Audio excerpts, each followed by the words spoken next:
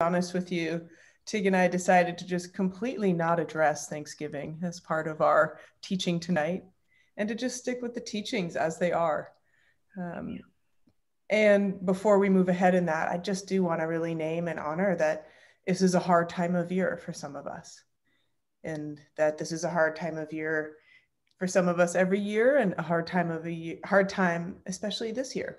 Um, many of us have various degrees of loss and uncertainty, and just so grateful we can be together. Really, really grateful we can be together in community and adhering ourselves to these teachings, much of which tonight point us towards really finding this inner sense of what serves us. So that's my aspiration.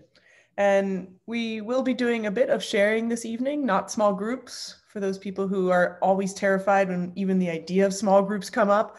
Exhale, you don't need to leave early, but we really are interested in engaging in discussion. And as such, as a Sangha, I want to remind us of, you know, our core ethic of doing no harm, of being together in this space and really being thoughtful and applying our mindfulness to body, speech, and mind. And that doing no harm.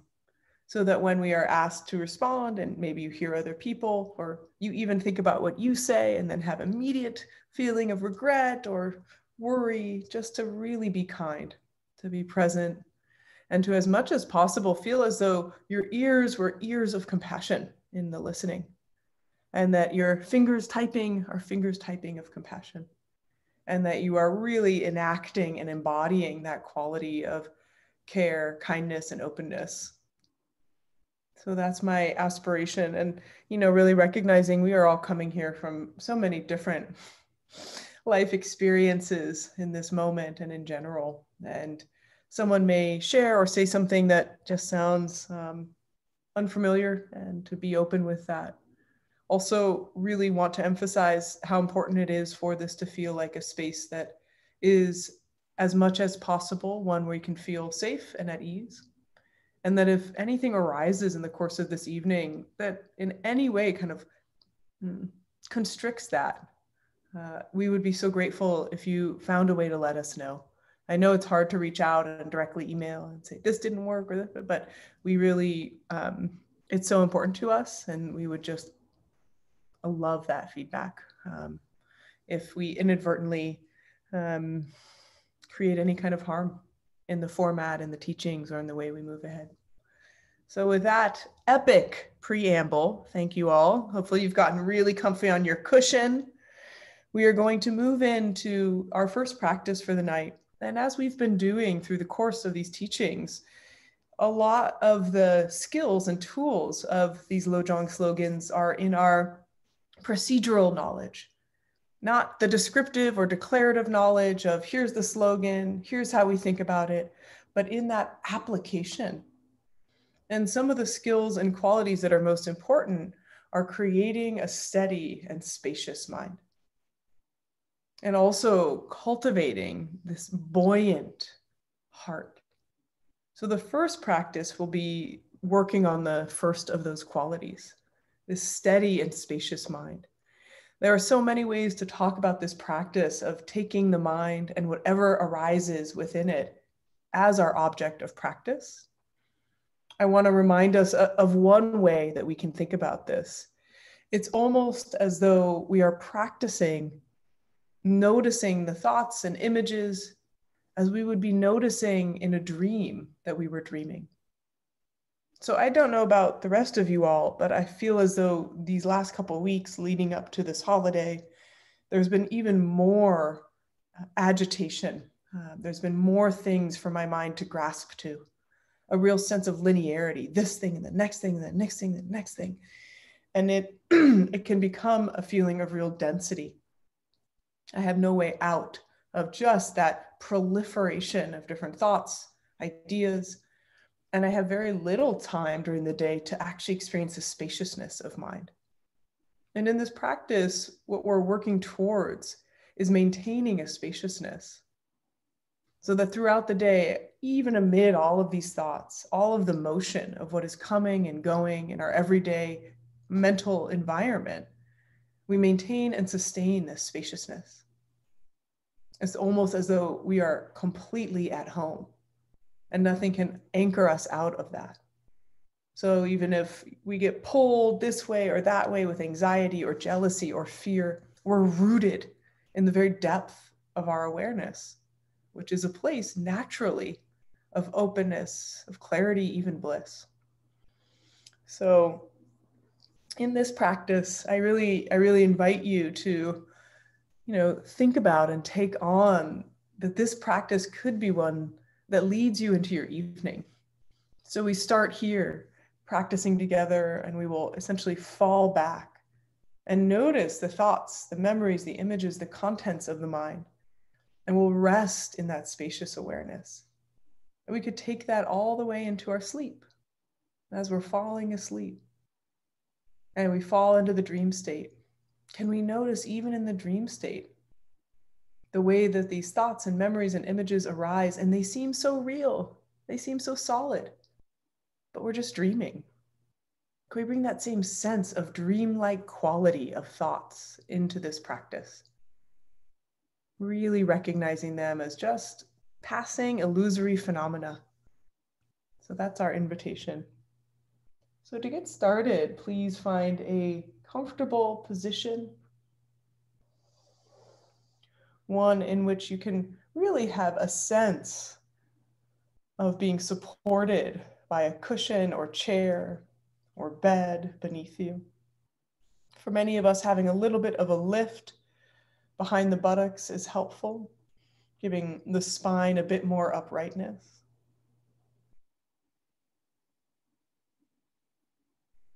And giving yourself a moment to really decide and choose the placement of the hands. You can place them gently on top of the thighs. You can fold them in the lap. Wherever you decide to place the hands, have a real sense of settling in.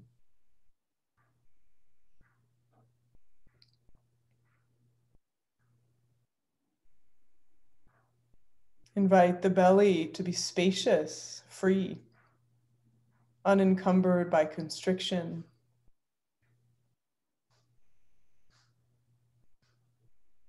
And feel the spine and its uprightness.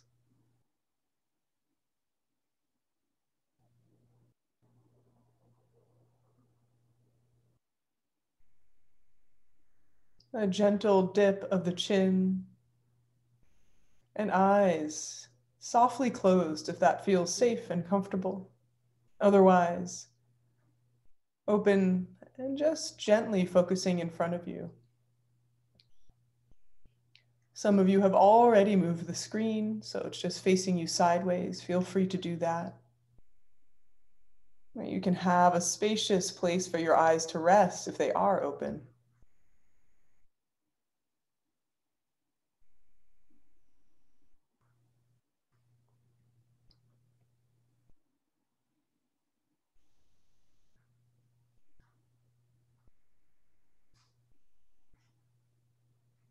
Invite a softness through the forehead and the brows, a gentleness through the eyes.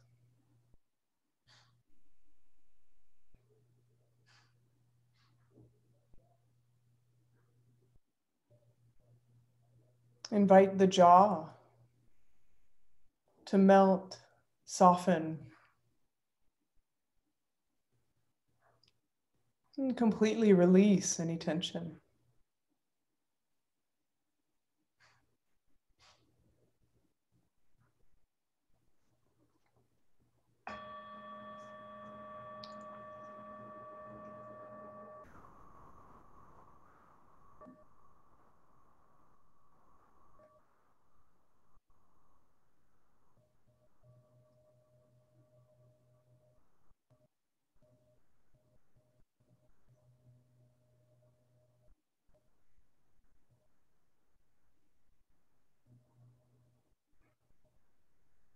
While allowing this softness and this gentleness to permeate the field of the body. Invite a vividness and awakeness through the inhale.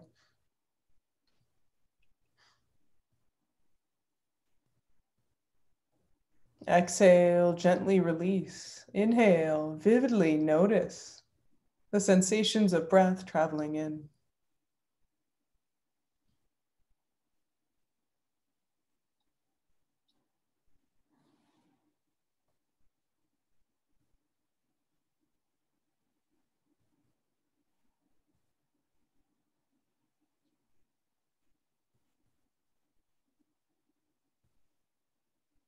The closer we attend to the breath, the easier for it to settle our speech, our need to communicate.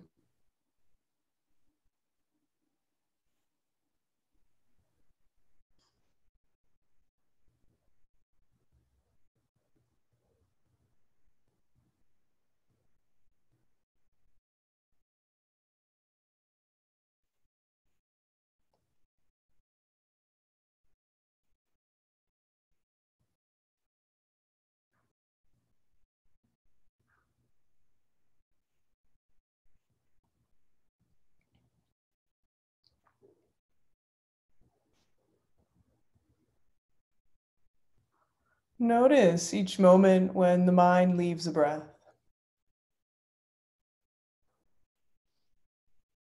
And gently return and refresh the interest. Drawing in vividness through the inhale and relaxing and releasing through the exhale.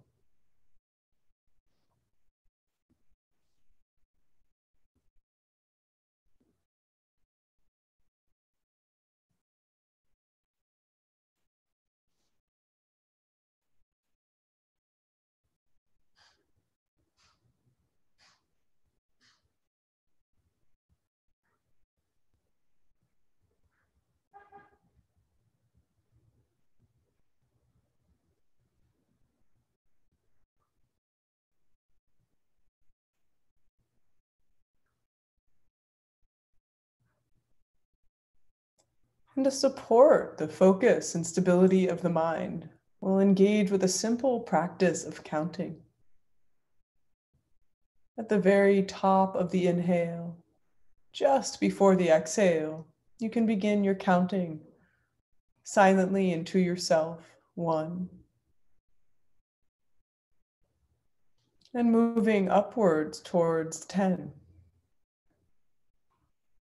Every time that you lose the focus on counting, you start over without any sense of regret or failure, just to refresh and refine this practice of attending closely. Throughout the inhale, we notice the inhale.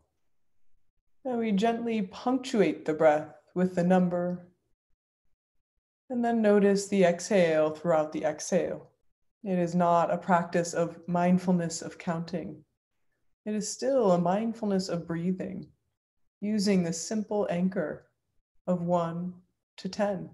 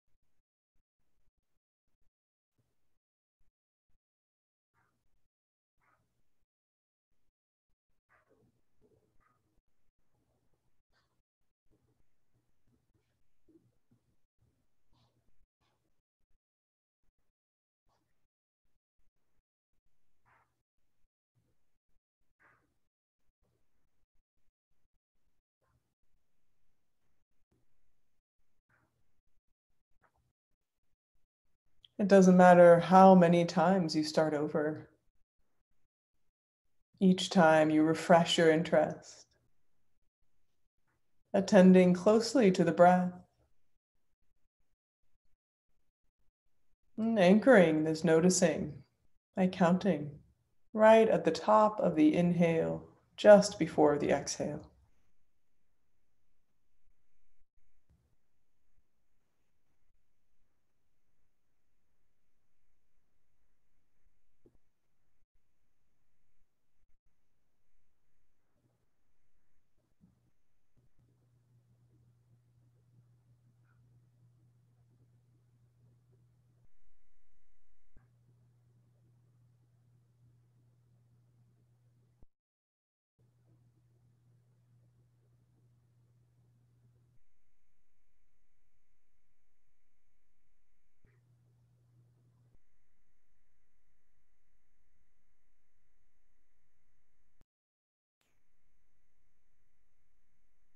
A simple practice offers unbelievable benefit,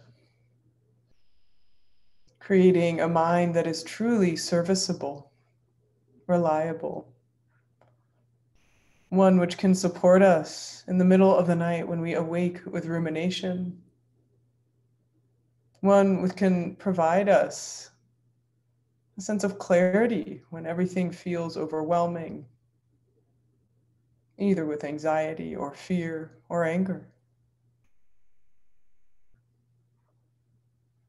Consider an intention for your practice this evening. For what do you want to make this mind serviceable?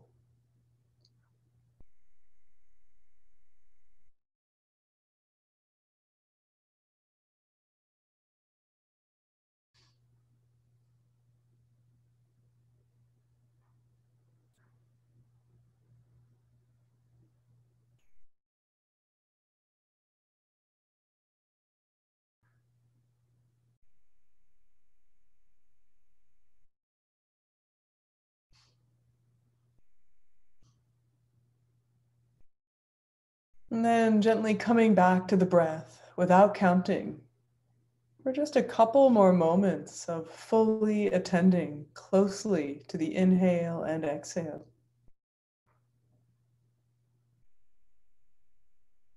Noticing what it feels like as the entire body is breathing.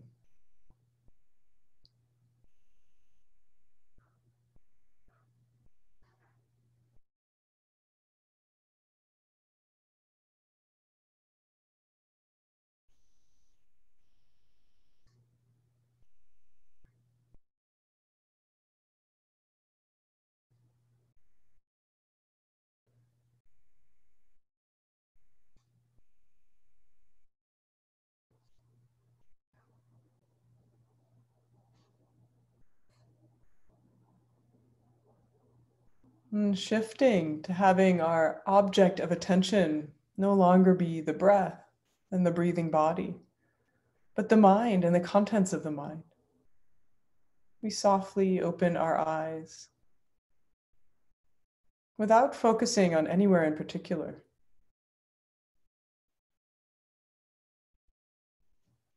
And engage in the simple yet profoundly difficult task of not grasping.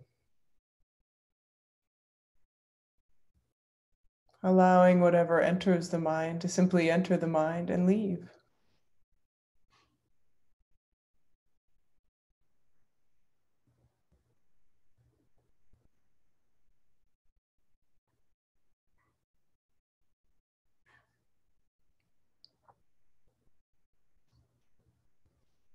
As though we were a hawk in the wind.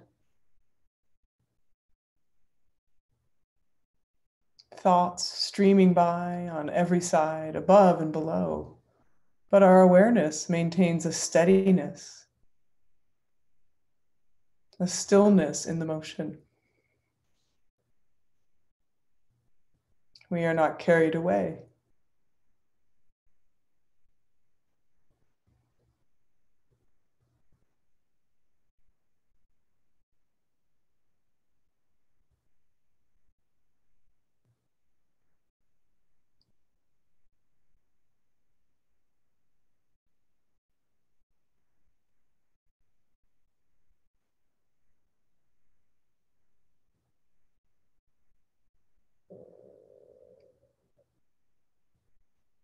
Softening the gaze, brightening the mind.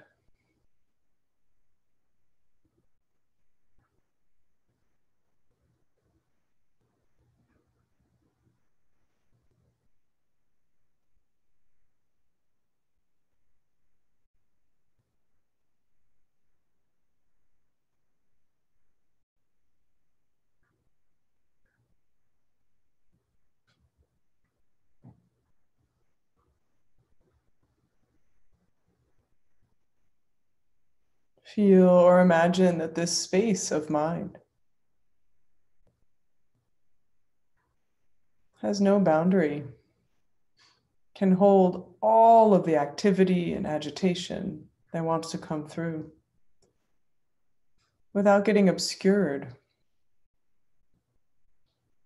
without getting blocked.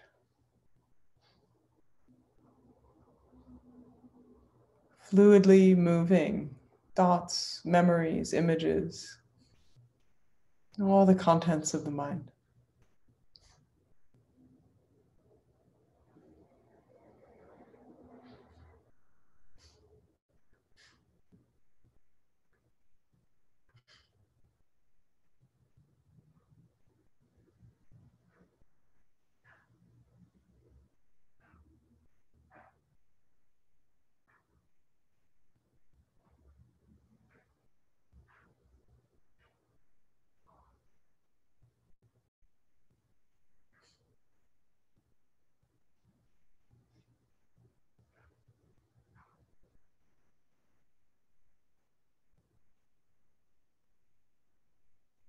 In this moment, our awareness is here in the present. All these thoughts, memories, and images are like a dream.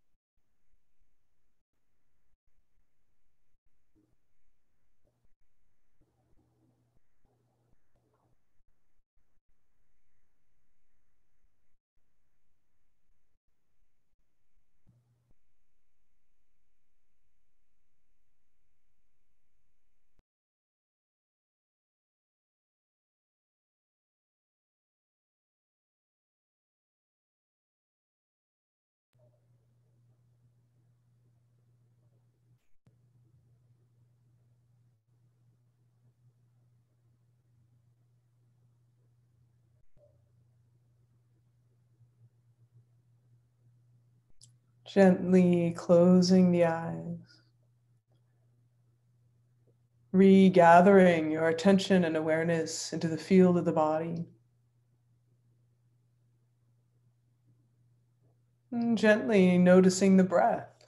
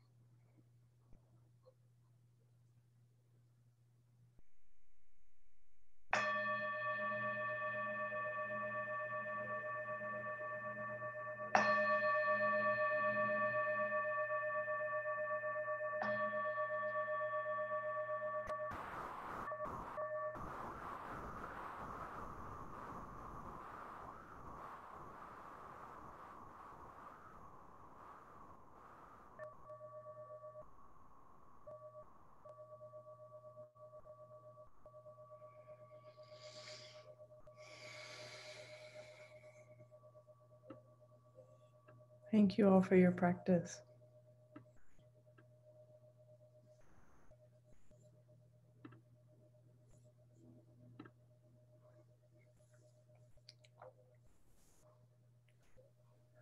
Before we dig into this next slogan, any questions on that practice?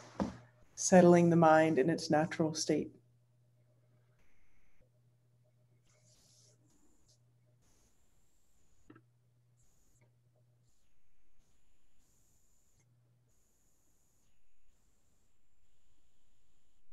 Very simple. Sometimes not so easy.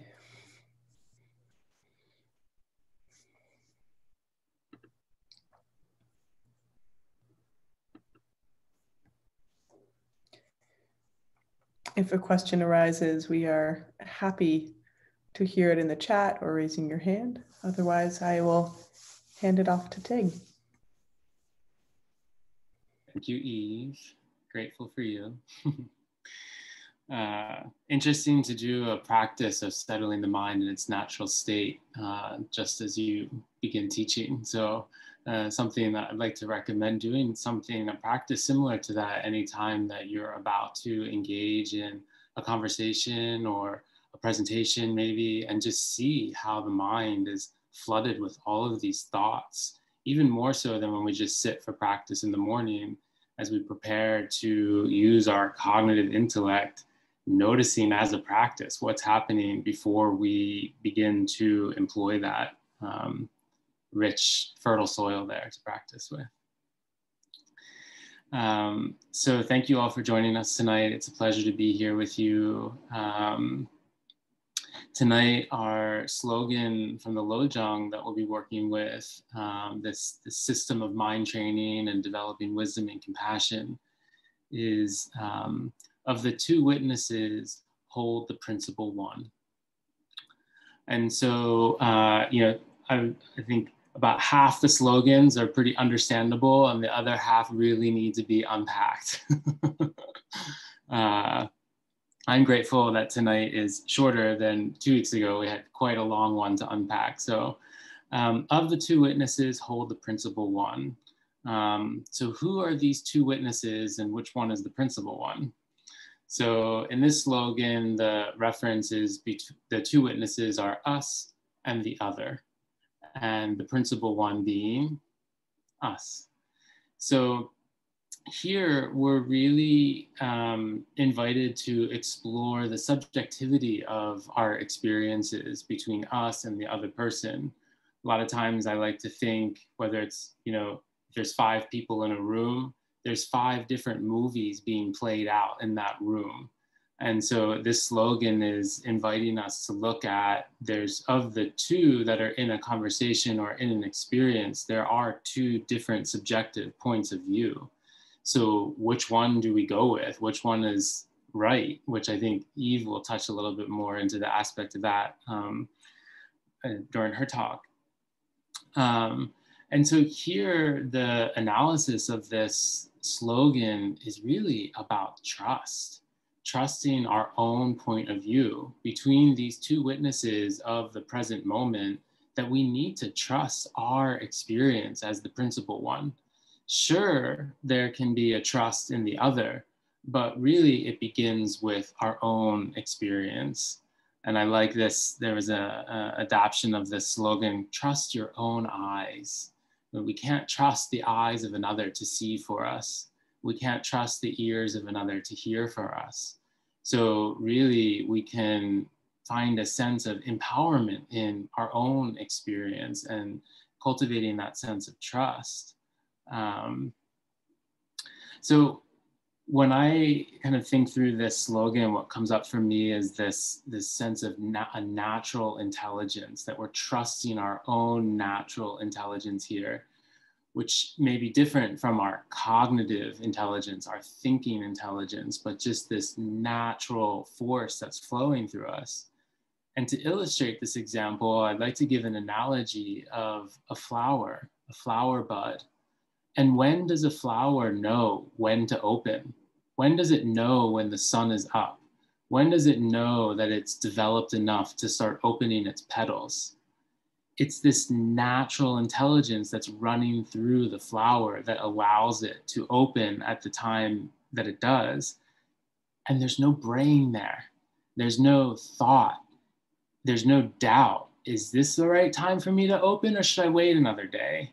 Is that flower next to me opened a little bit more and maybe I shouldn't open as big or I need to be, I need to smell the same way that that other flower. There's none of that cognitive thought process there it's just a natural, intuitive intelligence of when to open.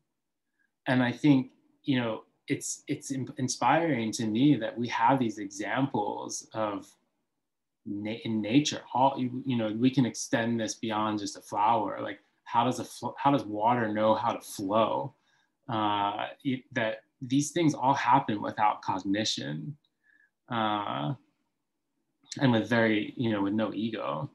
So I think one of the things, though, that it can be difficult to trust ourselves uh, because of the way that the ego gets in there and we have all these doubts and we have experiences in the past that may have made it difficult to believe in ourselves. What other people have said, what society has projected on ourselves may be difficult to trust ourselves. But here, we're not trusting ourself as we all know in the Dharma, there is no self here. We're trusting our natural intelligence. The, um, you know, I, I think again, in the framework of the Dharma, this is our Buddha nature, our ability, our potential inside of us to know intuitively how to take care of ourselves, how to hold the principal view of our own experience. And so to help make this jump from a flower to Buddha nature into our own experience, think about a cut on the body. How does your body know how to heal that cut? There's no thought, there's no cognitive thought. Yes, we can create conditions of healing, but those thoughts are not what is healing the body. It's this natural intelligence that we all have. So, bringing this example of the flower and the natural intelligence of nature into our own experience, that these are all things that are happening without cognition. And interestingly, that we open that practice with a heavy emphasis on mindfulness of our thoughts.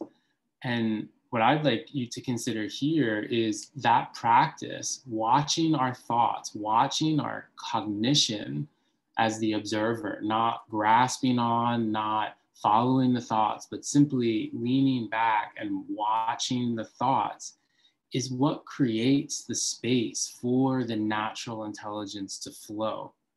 Many times I find in my own experience that I start tightening when I am lo- when I'm identifying with and getting lost in my thoughts, and it's blocking that flow, that natural intelligence.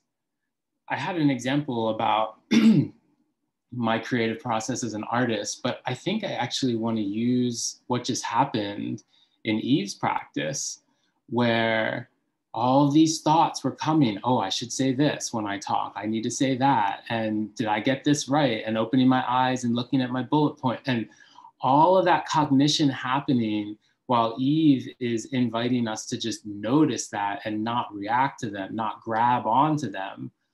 Really, what was happening in my experience was this trusting of the natural intelligence that is flowing through me um, rather than trying to compensate with some cognitive intelligence here. So really that that practice, this third foundation of mindfulness, being aware of our thoughts without becoming cognitively fused with them, at least in the practice, is what creates this spaciousness for us to trust, this spaciousness for um, this non cognitive intelligence to flow. And what happens when that flows through? What happens when this natural intelligence is flowing through us? Many of you that have sat with me before have heard me talk about the importance of our own personal dharma. So that when we are able to create this space we're creating our own dharma, our own experience, our own path. And I'm moving into a place with my own practice. Even I were just sharing a little bit about this of that I'm finding it much more enriching to practice my own dharma incorrectly than practicing another man's dharma correctly and being perfect. Uh, where creating this spaciousness that I've been referring to, allowing this natural intelligence, that is my own dharma, that is my own lived experience. And so I think that we can take the wisdom from the dharma, we can take other people's experiences as tools, as markers, as guidance along the path. But as many of you have heard this quote before, the territory um, is not the map so the Dharma is the map, it's not the territory. Our own experience, our own natural intelligence is the territory uh, that we want to be engaged with, that we want to be connected to, that allows us to trust, that allows us to come into a way of being in the world where we're not caught in ego, we're not caught in our thoughts, we're not caught in competition, over analysis, that we're trusting our own ability, our own Buddha nature, our own natural intelligence, our own Dharma to best serve us. And with this foundation of ethics, that in turn allows us to best serve others. So, um, with that, I'd like to pass over to Eve to kind of um, share her experience with this with this slogan of the two witnesses holding the principal one and and how natural intelligence can help support us through that. Hmm. thank you Teague. It's um it's such an outrageous invitation. It really is you know to truly trust ourselves as the arbiter of judgment right? That we are the ones who should decide. And it's interesting, you know, I've read a number of different analyses of specifically this slogan and what are we judging? Why do we need witnesses? What, what is it actually about? Um, and in some cases, teachers say that it's our how are we judging our practice, our progression on this path together, right? So, who do we need to tell us that we are actually doing well, that we are progressing. And it's interesting, you know, I, I actually heard a quote um, that's attributed to Goenka. I'm not sure if it's true, which says, whoever you live with is your teacher. Um, and I think also, you know, whoever you live with is your witness. Um, so, should we ask our partner or our pet, how far along are we on our path? Are they going to be the one who knows? And I think for some of us who do live with others, that's a, uh, a harrowing prospect right? Oh wow gosh they definitely they know me better and yeah they probably see me better. Gosh i have to do better in their eyes. And so we end up kind of creating a version of ourself which is the one that we want to be seen the one that we want to be appreciated. And it's you know it's almost like doing this extra gymnastic contortion instead of really having a sense of maybe actually I know, maybe I know best.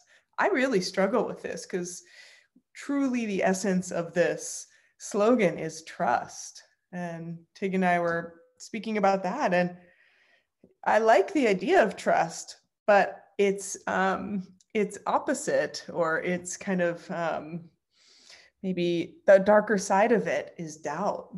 And I'm way more comfortable with doubt. Doubt feels really safe to me.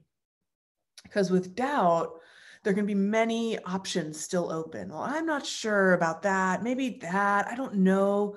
Yeah, like what is what is going to be good for my practice? You know, actually, I think practicing at night is good for me. Well, maybe in the morning.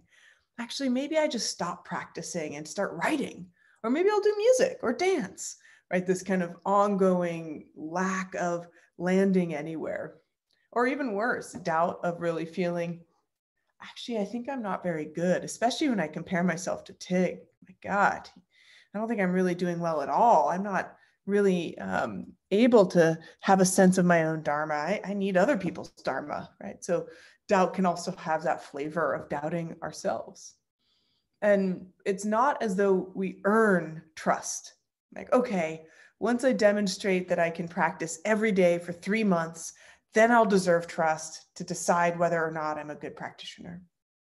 It's a natural trust. It's our birthright. It's that we already intrinsically have a sense of deep inner knowing, that we have the capacity to refine and cultivate this introspection to know ourselves. And the entire practice is that. And if we don't get snagged up with judging it too harshly, we are already doing a good job. So, whatever occurred in your proliferation of thoughts, memories, images, and other mental formations in that first practice, it's really good, you know, set of um, kind of illustrations of, of what's going on, what's happening for you.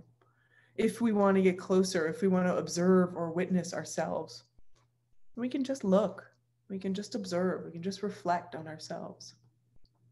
I think it's nice to, um, I mean, this idea of non cognitive knowing, it's just so in opposition to most of what all of us have been taught and most of what all of us are on a day to day reinforcing a non cognitive. Like, what does that mean? You mean I don't think about it? Well, then what is it? And so there's a real invitation here to cultivate a sense of feeling into. And as I mentioned in the very beginning of our time together, just discussing this idea of intuitive knowing for me was enough to kind of soften and make porous this internal, um, I would say, like a bridge inward to really know myself. And, I was astounded to have some real wisdom just arise, some real sense of what's good for me, what might be a great decision for my life, for my work. And it definitely wasn't, I think I should do this. It was a knowing. Does that sound familiar to you all? Have you had that knowing kind of show up at least occasionally? And so it's interesting that, you know, we think about this intuitive or internal knowing, you know, and of the two witnesses, you know, really take the one. It in some ways points out one one teacher, Judy Lief, who has just written so much on the Lojong slogans and so beautifully. She says in this slogan, we're kind of forced to really recognize aloneness and recognize confidence. And for most of us, we would really like to have a sense of community and connection and, and being a part of and with others. And that's beautiful. But, or and, yeah, we come into this world alone and we do leave this world alone. And that's not meant to be morbid and sad, but why would we look towards anyone else to show us about our practice if that's where we're going to need our practice the most as we leave? right? And it's going to be us. If we're fortunate, we'll have loved ones or maybe even a teacher with us. But this idea that we are cultivating our own hearts and minds, preparing ourselves for all of life's adversities, and then sickness, old age, and dying, if we're lucky enough to go to old age. So I think this practice can really actually go to a place that's that's quite deep of understanding and recognizing the aloneness the deep aloneness that is part of our humanity. And that that's trustworthy. That's not a state we're trying to overcome or get rid of. That there's a real wisdom in recognizing that aloneness. And it's why, you know, some of us do seek this time every day or every week to be completely inward maybe we use guidance from a teacher, but you know that that territory that Teague was pointing out, that inner territory of our dharma, our experience. It's so beautiful. I think you know an example for me in thinking of well, what is this like on a day-to-day basis? What is this like to feel into a sense of trust for for myself, for my practice, for my for my progress on the path. uh, big air quotes there. And, you know, I think of the cultivation of generosity. Cultivation of generosity, I, I do think is a really beautiful indicator of our progress on the path. And, you know, I think I think about the generosity that I um, I offer that feels very free with friends and, and family. And I can see a sense of like doubt occasionally, like, hmm, is this the generosity of real generosity, or is there some expectation still there? Right. So this practice actually asks, asks us once again to cut through self deception really see clearly. And then sometimes I wonder, is this generosity? Because I know generosity is a paramita and I definitely know it's a good quality. So I'm kind of like, I'm, I'm doing it out of striving. Am I fooling myself? And there can be a little bit of interesting introspection there. And then I will notice right in the middle of my generosity, this is trustworthy. I didn't preconceive this. I am definitely not expecting anything out of it. I am embodying this. It is coming through me. That's such a wonderful feeling. And that sense of, you know, this was no one even needs to no one needs to witness it. Maybe my generosity is I don't know why, maybe someone on this call does.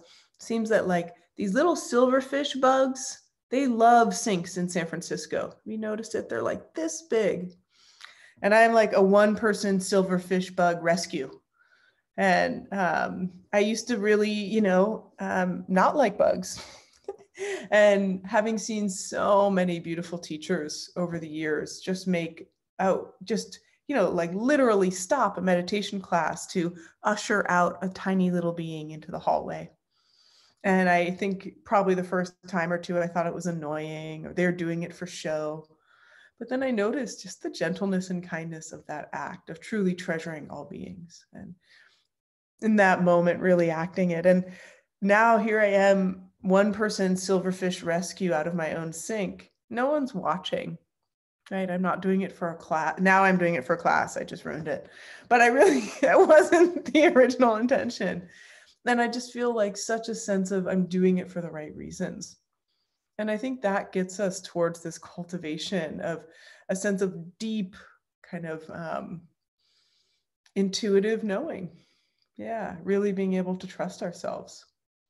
And, you know, I think one thing we were hoping to, you know, engage with you all tonight in general questions you have about this practice, but we were hoping to have you really reflect on two questions with us. And as we have done before, we're going to invite you to use this incredible um, high tech mode of interactive connection by changing your name to just human. So I'll start us off. It's the little dots right next to your name. So I going from Eve Ekman to human. And for those of you who haven't done this, this means that when we write in the chat, it's all humans. So we can do so with just a lot of openness. And our hope was to really get a sense from you all where do you find yourself trusting yourself? And what does that feel like? So, just taking a couple moments, where do I trust myself? And what does it feel like?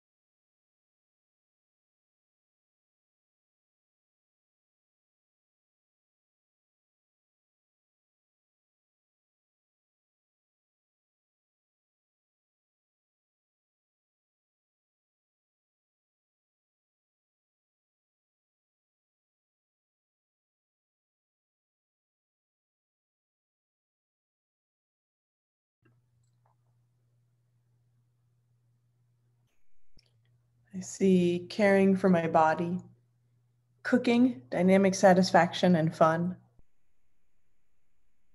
With my reverence for nature and setting my intention.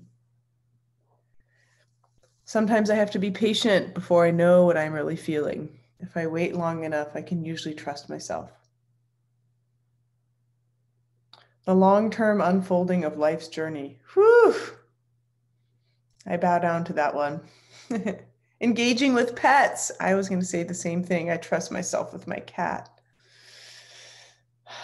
To know my boundaries feels safe. Allowing rest. Another human here says, more so with work and advocacy than personal relationships. I work a lot on social justice to shift power dynamics. I feel like there are broader values than our community that are community driven that guide my work and help me trust certain decisions or know who to reach out to if I need to reflect. Wow, that is powerful. Yeah. In trauma therapy, trusting my brain to bring up the right memories and make the right connections to be able to heal. How I love the world, tender and open.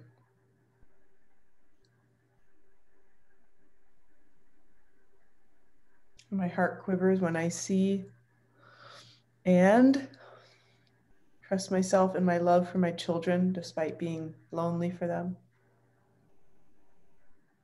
Protecting my energy making friends and noticing who I like myself with. Hmm. Yoga practice, letting the body do what it needs. When I listen. Hmm. When the pain of others quivers my heart and I help.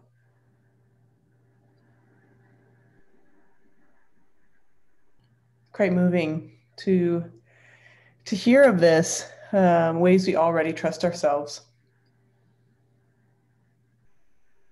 Yeah. Um, when I make art, whew, also I bow to that one. That is a beautiful practice. I'd love to hear from folks, um, yeah, questions or reflections on this slogan.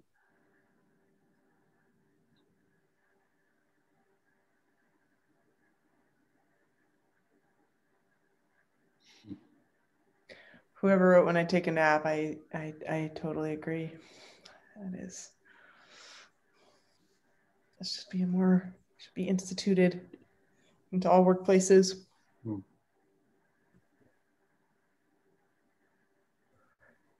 If someone has a question, they are welcome to raise their hand or just unmute or write in the chat. Um, Teague, I'm curious, anything come up for you in reading these from folks? I, I'm visualizing this whole chat box as like a garden blooming with flowers, you know, like everything that you're, everyone, excuse me, everything that everyone is sharing is this natural intelligence of knowing when to open without thinking about it. So mm. it's just really beautiful to kind of see it in terms of that analogy and, and all this beauty that's coming forth into the world. And uh, yeah. Mm. And there, you know, a lot of these are really ringing true for me as well, especially this last one when I dance. There's a, a natural, um, in my own experience dancing, there's like this natural energy that takes over as long as I can get out of my head. Mm-hmm. Uh, and that, you know, so I appreciate that. Hmm. Aha. Oh, yes. When you wake up in the night ruminating about things you've already sorted through, what do you do? yes. It's such a huge question. Um, I struggle uh, sometimes with sleeplessness, especially when there are um, a lot of things going on in, in relative reality. There's a number of instructions that have been given to me, and then I'd be curious what Teague has tried or heard. Um, the one that I have found the most useful for myself is not just focusing on the breath, because almost always you're told to focus on the breath or one way and the other, but to really focus on the breath at the belly. and that this grounding experience of the belly uh, gives you just enough to focus on that you're not um, just getting re caught up in rumination, um, but it also isn't so specific that it kind of like further agitates and excites you. So I do find that one helpful. I actually got some really interesting instruction that I've also used. Um, I, I, feel a little humble sharing it because it is not my teaching. So it's a teaching by someone named Robert Svoboda, who actually uh, Chandra's partner studies with. He's Ayurvedic doctor. And I was really struggling on a retreat um, that he was co-leading with Chandra and her partner to sleep because they were doing these breath practices and it elevated all my energy. So it wasn't negative rumination, it wasn't, you know, worry and stress, it was literally just this vital energy of practice. And he recommended I start um, visualizing and dissolving from my feet all the way up to my head. I've never made it all the way to my head. So there's something about that kind of dissolving of form that worked for me. Again, those were the instructions he gave me. He is a far more qualified teacher to do so, but I don't think it can harm you to try it. Worst case scenario, it doesn't work. Um, you know, and I do think for me in the night, there's also, I have to have a, like a, a compassion slogan. And whether that's it's okay or I love you or you are already safe. You are already safe has worked pretty well for me because often what I find is ruminations are our mind's vigilance from the day, not being able to unwind. And, you know, mostly as humans, we want to be safe. So, what's that kind of one cutting through phrase that we can kind of tell ourselves in that comforting way? Yeah. Teague any other tricks for us? I find it so prevalent. Well, just picking up where you left off, I, you know, my compassionate phrase is "it makes sense." Mm. That's always my go-to. It makes sense that I'm feeling this way. It makes sense that I'm that this, there's these ruminating thoughts. Uh, for me, I find it very helpful uh, to get up and write down the thoughts. So it becomes it, I, it becomes external to me. It's not something that I'm holding inside anymore. It makes it I can see them. I can, you know, it, it, just makes it a little bit more easier for me to relate to the thoughts and just let them let them move. Um, sometimes stream of consciousness writing in that moment really works, just as a short practice. And then I go to breath and building on what Eve offered about bringing the awareness down to the belly. I also do more than just mindfulness of breath. I go into a diaphragmatic breathing, uh, especially if, if I'm already laying down in the bed um, if I'm laying on my belly, pushing the belly down into the mattress while I'm breathing in. Uh, or if I'm laying on my back, extending the belly up towards the ceiling as I breathe in.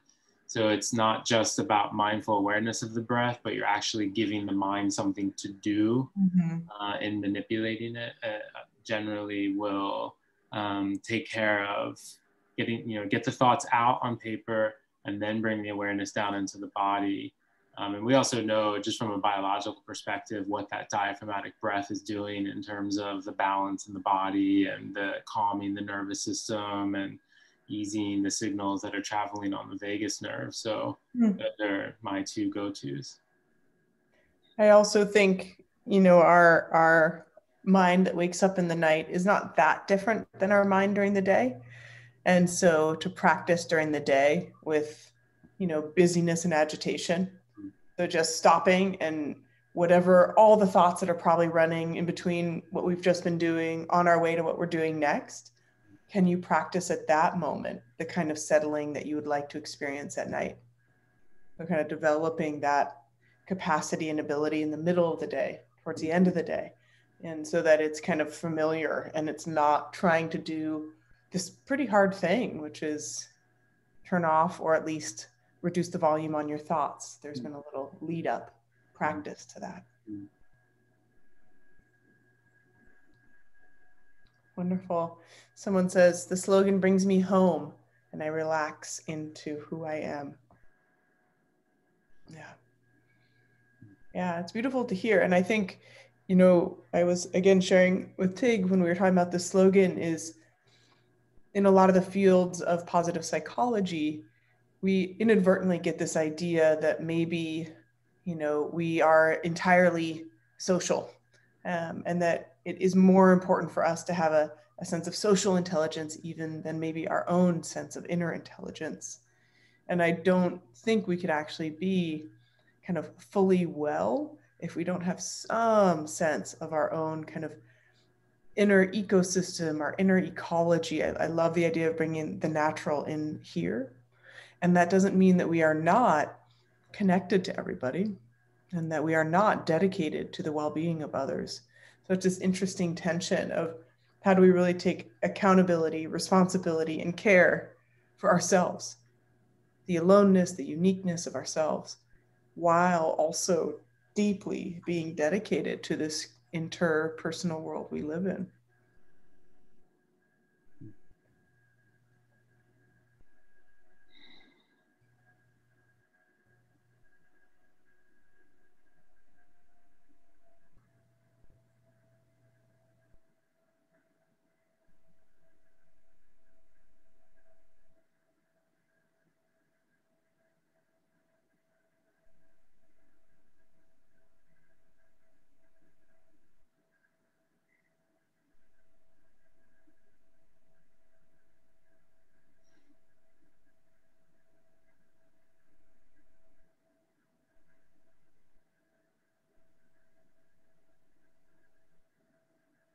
Hmm.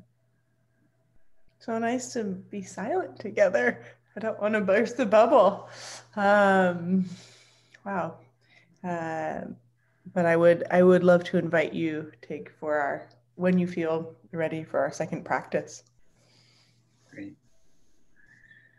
So um, given that we've been talking a lot about trust and we just did this exercise on when we feel that trust. Um, we're going to move into an experiential practice of feeling into the body uh, and familiarizing ourselves with the feeling of trust.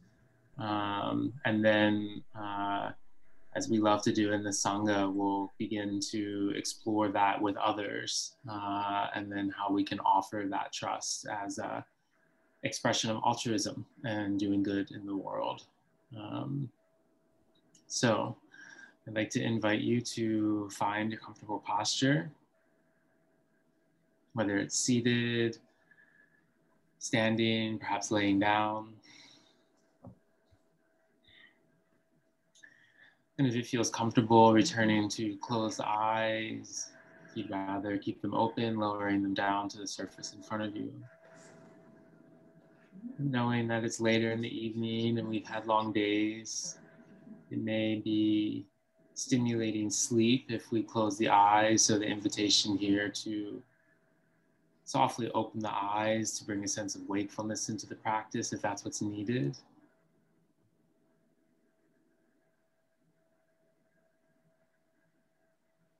Let's take a moment just to arrive into this practice, letting go of the teachings and conversations that we've had and steadying ourselves in the breath for just a few moments of experiencing the air flowing in and out of the body.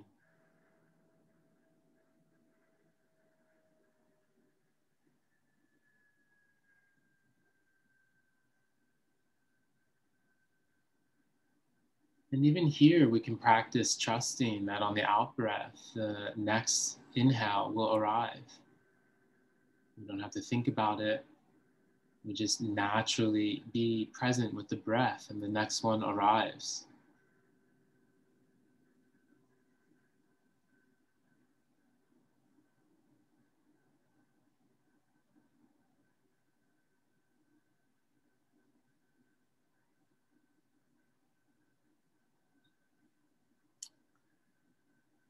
And as we begin to transition into the main part of this practice, returning to the question of how do we trust? What aspect do we trust ourselves in our life?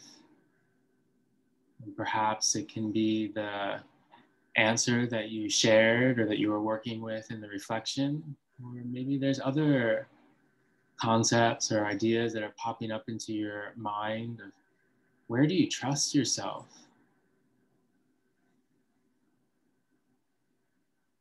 What aspects of life can you feel this natural intelligence flowing through you?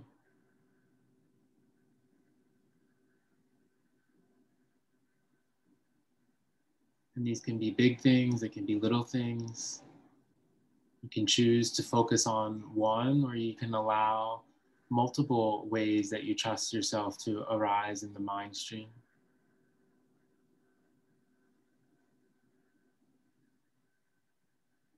With an invitation now to imagine yourself doing this action.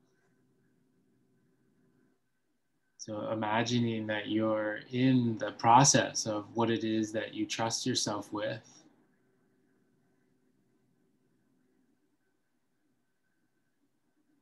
and see yourself moving through this experience of trusting yourself.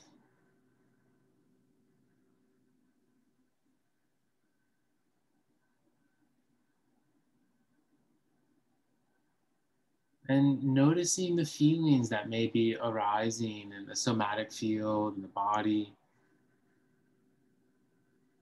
as we use our cognitive thought to recall this aspect of ourself that we trust, noticing the felt experience of that in the body.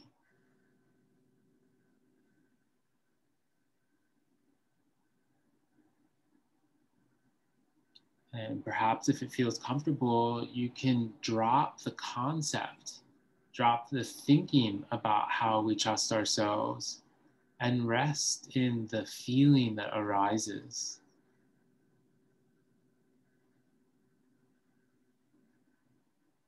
and using this felt experience as the anchor for this moment. And if nothing's arising in the body or it's a bit more subtle, you're more than welcome to work with either the visualization of yourself trusting or even the thought of what it's like to trust yourself.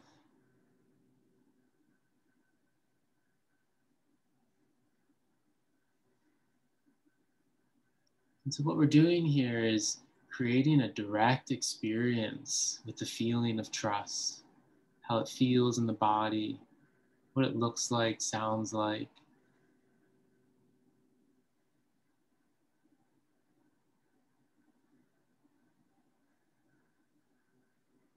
If you'd like, you can allow this feeling to begin to expand through the body, perhaps using the breath the inhale to heighten the awareness of this feeling, and then on the exhale, sending it all the way through the body. So, if trusting yourself feels safe, allowing that feeling of safety to expand and ripple out through the body. If there's a sense of relief or relaxation through trusting yourself, trusting your experience, breathing into that sense of relaxation and then breathing out and allowing it to fill the body.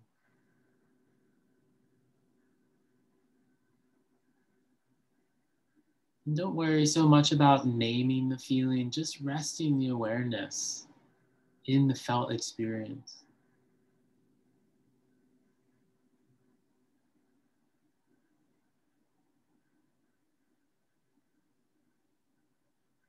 The mind wanders away to other thoughts or perhaps even doubt, just using our mindfulness practice here as a tool to notice that, notice those thoughts. Remember that we are not the thoughts, we're the awareness of them. And returning back to the felt experience of what it's like to trust ourselves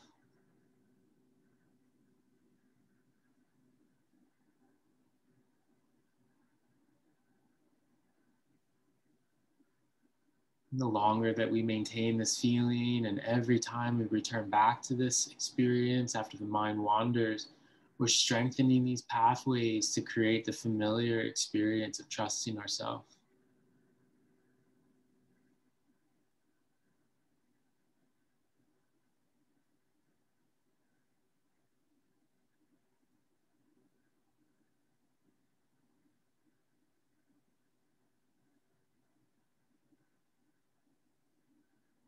Now I'd like to invite you to consider a loved one, someone that's close to you that you trust. And what it's like to be in their presence. What it's like to feel this trust of the loved one. Perhaps visualizing an experience with this loved one in the mind's eye that allows you to cultivate this feeling of trust. Maybe it's something that arises naturally just by thinking about this loved one.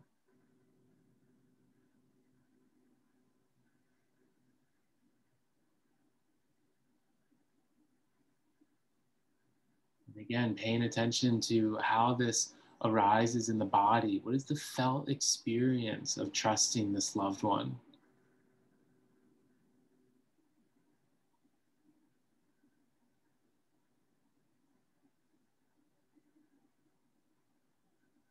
And again, if it's possible, dropping the cognition around this and just resting in the felt experience of being in a trusting, loving relationship.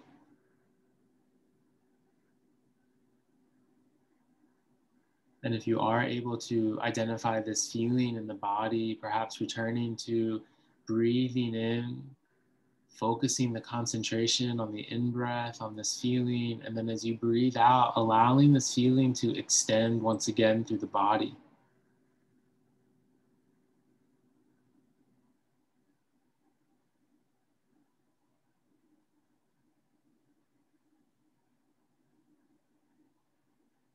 And given that we are on the eve of giving thanks and observing our gratitude, perhaps cultivating a moment here of appreciation for this loved one, for this trust between the two of you. Maybe even silently thanking them in your mind.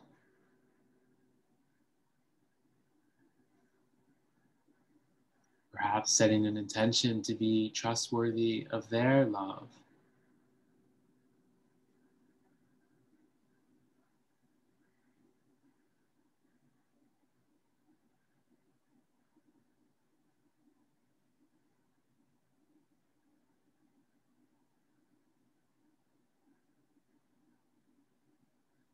And if you're holding this loved one in your mind's eye, perhaps inviting them to stay for the remainder of this practice, maybe imagining them sitting beside you now, still feeling the experience of trust.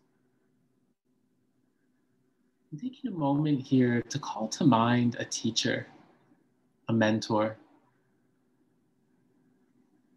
and the feelings of trust that you have for them perhaps trusting in their wisdom, trusting in their compassion, trusting in the safety that they provide for your growth.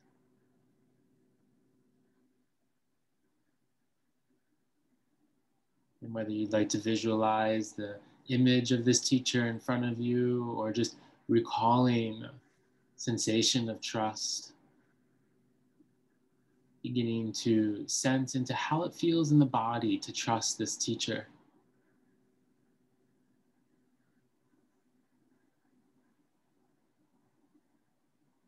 And you may keep coming back to the same feeling in the body for self, for loved one, for teacher, or perhaps it's slightly different for each of these benefactors.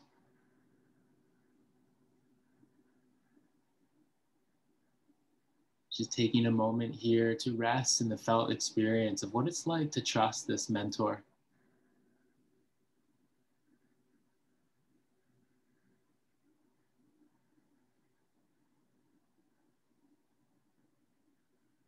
Again, taking a moment here to pause and offer a sense of appreciation, gratitude for this teacher, for this trust between the two of you. Perhaps silently thanking them in your mind's eye.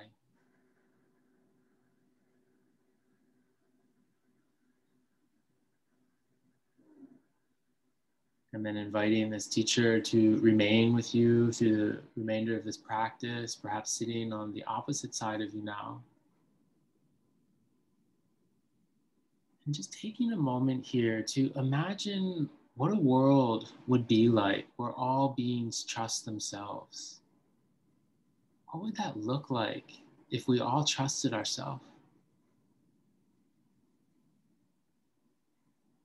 And what would it be like if we all trusted each other? And again, noticing if there's skepticism or doubt or cognitive thoughts flooding your awareness. And as much as possible, returning again and again to this vision, almost this aspiration of what it would be like if our world was a trusting place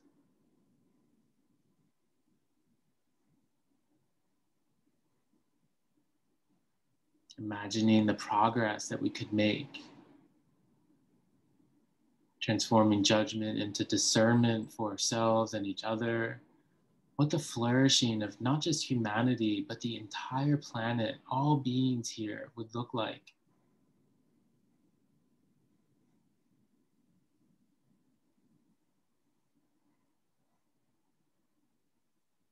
Perhaps taking a moment to breathe into that feeling in the body and this time on the out breath, extending that feeling out into the world.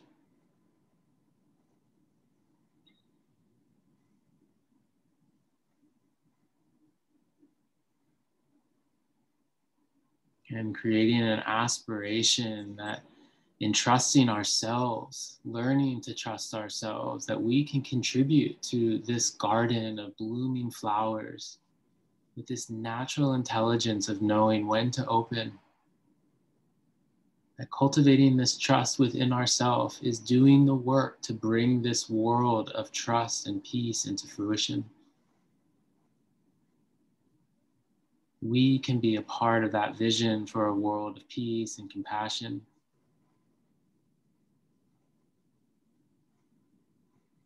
And so let's take a moment to join together with everyone here in this gathering, all those that are practicing around the world right now, becoming this beautiful garden of flowers blooming across the planet.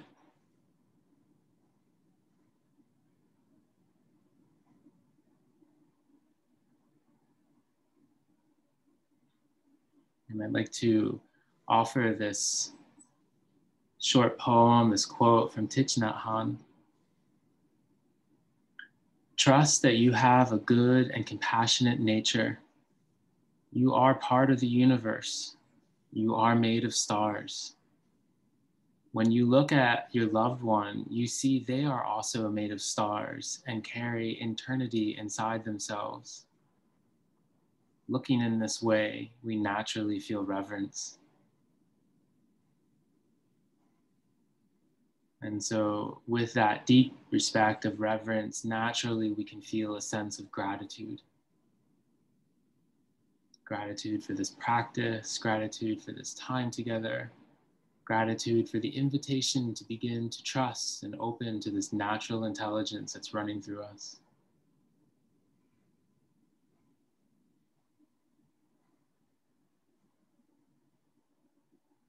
And so let's conclude our session tonight by dedicating the energy that we've been cultivating through exploring the slogan, through these teachings and these practices of awareness and heart opening, to the flourishing of trust in the world.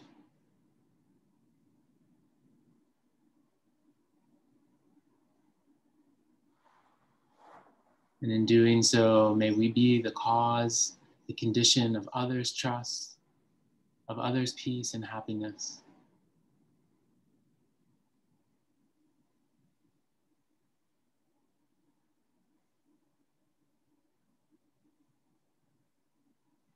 And as we come to an end of this practice, following one more breath all the way into the body. And on the exhale, releasing the air, releasing this practice and taking your time to return back to open eyes if you've had them closed and awareness of light and each other.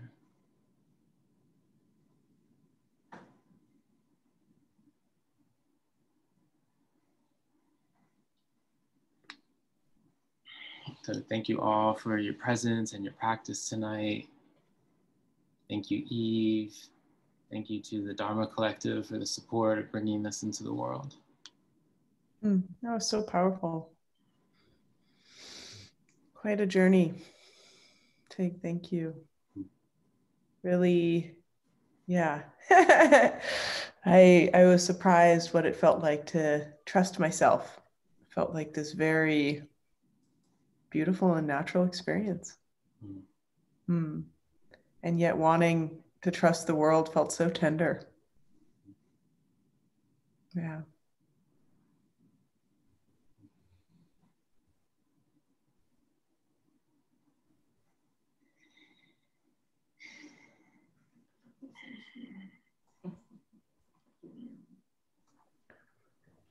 Thank you all for full, showing up so fully tonight and sharing your time with us. And yeah, really,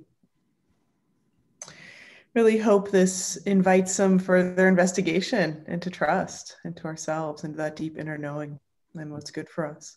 Hmm. Um, yeah, yeah. Thank you all so much.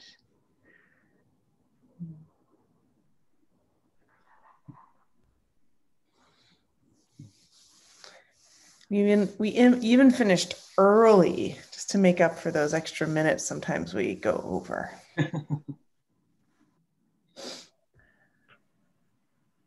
I might come in for a minute.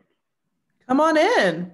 To just talk about how great it is that the Sangha trusts each other to make generous contributions. There you go. and how that works, um, and how we've been trustworthy in that, in the sense that people have been able to contribute their time and their energy and their money to this sangha, um, and we've been able to continue to come together and explore the teachings. So, thank you everyone for that. And we put the link for um, contributing into the chat. And it'd be great if you just noted Eve and Teague um, that you were donating for. When you fill in the contribution form, there's a spot where you put in the teacher's name, and that helps people who do the administrative activities to distribute the contribution with ease and joy. they usually have joy, but sometimes the ease is, you know.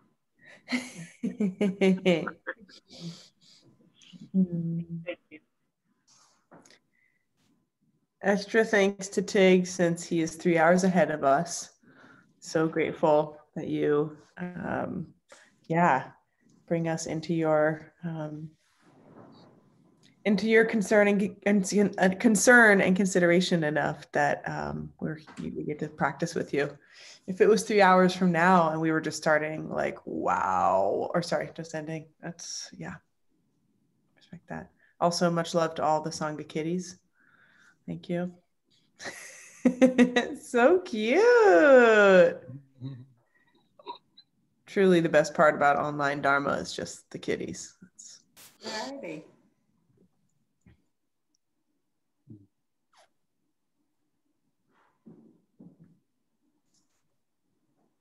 Thank you.